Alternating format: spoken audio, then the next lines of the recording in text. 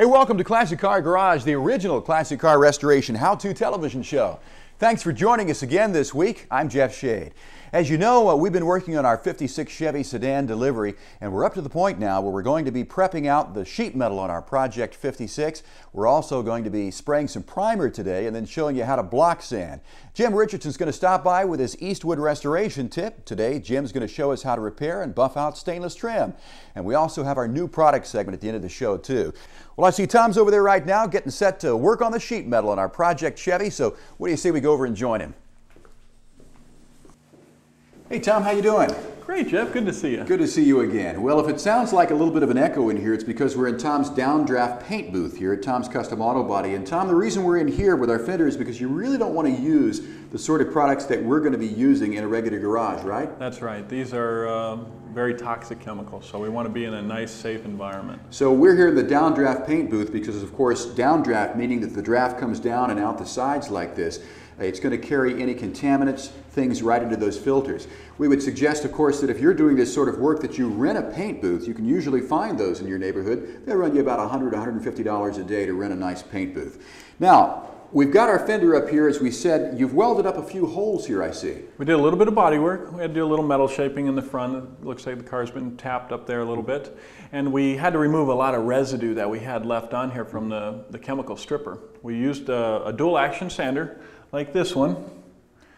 And uh, we uh, used an 80 grit sandpaper first. 80 grit to begin with. That's, That's going to be nice and coarse. Then you go to what, 150? 150, yep. So once you've gone over this with a 150 grit, then it pretty much looks like this. That's right. But because we've touched it with our fingers and so forth, now when I do this, this is, doesn't look like much, but it's going to leave oils in here, right? That's right. There's oils that come off your body, so we need to clean all that off of here. Um, we're going to move into the Spies Hecker system, and the first product that we're going to use is this Permahyd product. It's a silicone remover, 7090, and you simply, we put it in a spray bottle because mm -hmm. it makes it a little bit easier right. to uh, apply.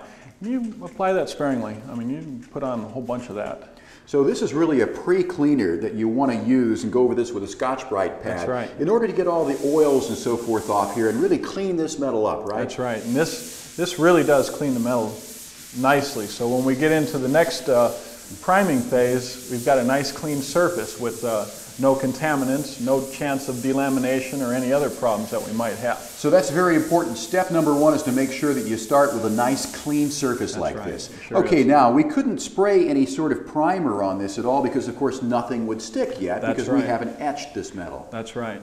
And you can see how much dirt we're taking yeah, off of here. take a look at that. This, uh, this is a real important step here. The next step we're going to move into is an acid etching primer and it's another Spies Hecker product.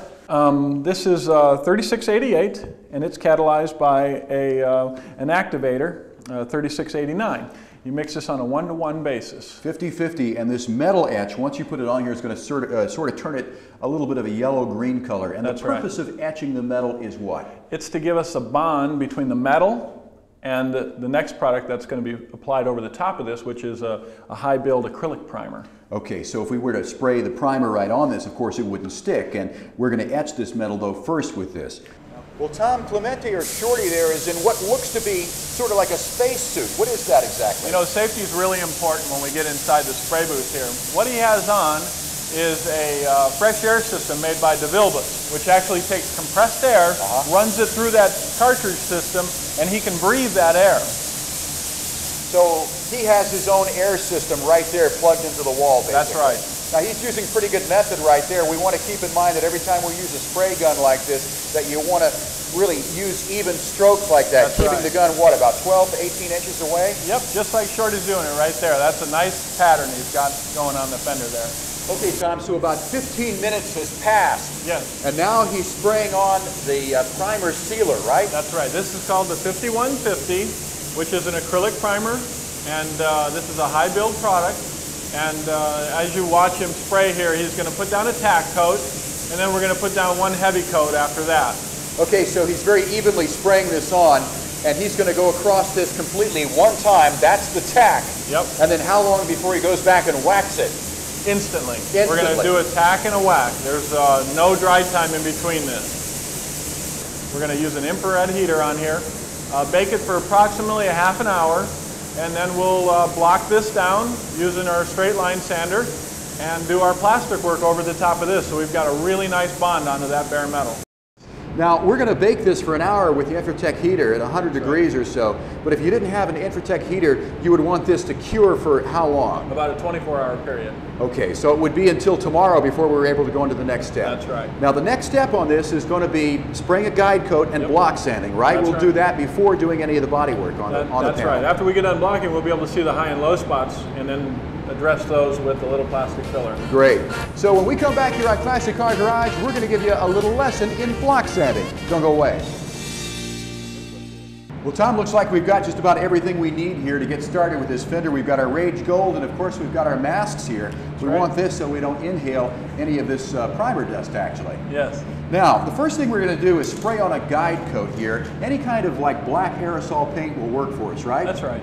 And you don't have to spray on too much, just a No, you really little don't bit want here. a lot on there, just a little bit. Just a little bit of a mist, and again, we're going to put this on there.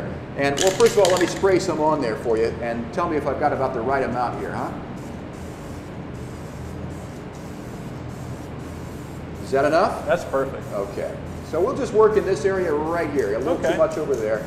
Now, what this does is it puts a little bit of a, uh, a black place here so that when we block sand over this, and I had my, my block back here, if we right. used a hand sander, we use one of these, but when we block sand on this, wherever there's a low spot, of course this paint is not going to come off, and that's going to show us where we want to do the body work. And of course, if we grind down through the primer and into the metal, that means there's a high spot there. We've got That's some right. body work to uh, do. But now this is a, a long block, right? That's right. That's a longboard.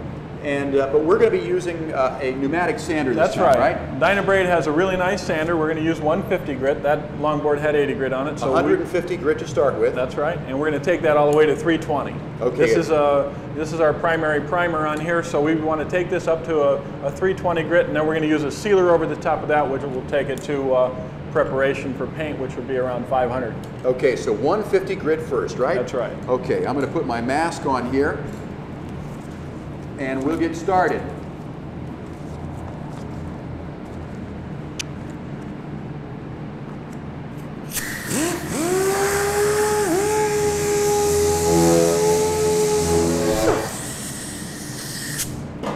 All right, Tom. So, what does this tell us about this particular fender? We Well, can see a little bit right there. That's We- right. That's where I welded. Right. And we had to weld a little hole up right there. And we've got just a little bit of a low spot right there. Not not real bad, but you can see how strong this primer is. This Exactly. is good primer. Right. This is uh, we only put two coats on here, and look at the filling uh, capabilities we got out of that. That is pretty clean. Now, if the whole rest of the fender turns out this way, we really don't have that much work to do, right? No, we don't really have a lot of work at all. So what we're going to do is we're going to take a little Scotch Brite and we're going to get inside there, and we want to remove any of that guide coat because we don't want to put any plastic over the top of that. When we come back here on Classic Car Garage, we're going to give you a little tip in doing the rest of the body work. Stay with us. Welcome back to Classic Car Garage. Well, as you can see, we've sanded the guide coat off here with 150 grit sandpaper. And the only place, Tom, that I can see we need to do some body work is right here at the top. And this is where that little hole was that you welded up. I understand that uh, this comes from uh, a big mirror. Of course, this car started life as an ambulance, so it had to have the big mirrors on the side there. But this looks like the only place that we're going to need to do some body work. That's right. So the first thing we want to do with this panel, though, after we have 150 gridded this down, is to what? Clean it up again, Now right? we're going to clean it up again using our um, uh, Spies Hecker uh, Pre-Cleano. Right. Now so we we, get need- it nice and clean We, inside there. we don't need to use the Scotch Brite pad at this No. point either, do we? No, because it's it's basically clean. We just want to make sure there's no dust inside there. Any place that we may have touched it or there's dust in That's there. right. So now that we've got it all cleaned up, the next step is to mix up our Rage Gold product, That's right? right. This is, Evercoat uh, Rage Gold. Evercoat's product. It's a plastic filler. Works really good. Now, this requires a catalyst, some sort of hardener. Yeah, we're not going to need much plastic. Um, Yeah, mixing ratio on this is golf ball size of plastic to about a one inch strip. So this is about a golf ball. We want to put down about a one inch. A one inch strip of the uh, hardener there. That's pretty close to one inch. Close enough. Now, there's a technique to mixing this up, isn't That's there? right. We, we don't want to induce any air into this, so you mix this in a circle eight, and you want to keep your spreader on the surface as much as possible. And you can kind of see that eight pattern that I'm Right, you've got sort of into a 90 degree angle to the surface That's here. right, yep. And you can see how it's mixing. It's mixing up really nice. It's going to turn it into sort of a chartreuse looking That's right. filler here. And the more times you pick this spreader up, the more air you're going to get Right, in you there. can see the little bubbles there. Yeah, and, and that's bad. You don't want that. Ultimately, we don't want any bubbles at all. That's right. We don't want any any air bubbles in this. We want a nice tight, nice tight surface there. Evercoat Rage Gold. This is something that most uh, hobbyists can find this at, at uh, basically an auto parts supply store or Paint a, store. a paint store, that Yep, sort of thing. Automotive paint store. And there are all sorts of different grades of body filler out there, right? There sure are. And uh, you found in your experience this to be one of the best. This is one of the best plastic fillers out there. Now, once again, we've worked the metal on this car to the point where you don't need a lot of plastic filler. This is just going to be a little skim coat Yeah, here, we're right? not. I mixed up a lot, but uh, we want to. You can see right where the low spot is. It's right. not very bad. It's really filled it in right there. That's all we've got to do. So now we're gonna. I put on a little tin coat. It's called a tin coat. That's right. And you're preserving, trying to preserve this, uh, this body edge there too, it looks right. like a little bit. But of course, you'll finish that out. There. Okay, so you can see I didn't have to put on much. no, not at all. That's just a very small skim coat. Now, how long does it take for this uh, Rage Gold to harden up? This will be dry in about 10, 15 minutes. So 10 or 15 minutes, then we can go to basically forming this to the, to the, to the panel of the body, That's right? right. We'll do basically the same thing as we did with the other air sander.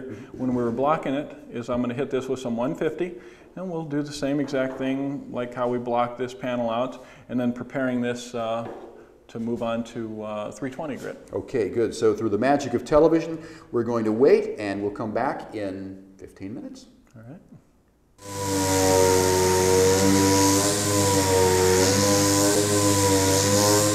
So this looks pretty good now. This looks great as You can see the accent line is still there. still there. We, we didn't disturb any of that. It's still, you can see it carries through, and it looks real nice right there. Well, Tom, I tell you, I can't wait to see the whole rest of the fender looking like this, and especially when it's sealed up again. Again, it's going to look just like an egg. And it shouldn't be too much longer now. It won't be. When we come back here on Classic Car Garage, we've got the new products segment, so stay with us. It does look nice. In this week's Viewers Garage is the 66 Ford Fairlane GT convertible owned by Gary Hufford of Wilmington, Ohio. Gary, good luck and thanks for the picture. Now, if you've got a classic you want us to see, send your pictures to us here at Classic Car Garage. Hey, welcome back to Classic Car Garage. Before we leave you today, we got a couple of new products to show you. Take a look at this. This is from Standard Abrasives, and this is the carburetor cleaning kit. Now, this comes with everything you need to clean and polish the venturis of your carburetor. Also, it has different sort of abrasive discs here for getting those uh, casting flashings off your carburetor. Basically, this is everything you need in here, including the mandrels and the sandpaper, to do about four to five carburetors. It'll give you superior performance and make your carburetor look like a jewel. Now, a lot of people have asked us, how does Tom get that show-winning shine on his cars here in the shop? Well, right here's his secret.